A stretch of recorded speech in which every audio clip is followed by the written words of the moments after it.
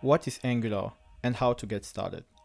Angular is one of many JavaScript framework and it's mainly used to build web application, but combined with other libraries like Cordova or Capacitor, it can also be used to create mobile application. Angular is based on the concept of component. A component is a basic UI element that encapsulates the view in an HTML file. The logic and the data are in TypeScript and you can set the style with a CSS file. You can install Angular with this command. Start a new project with this one and generate a new component with this one.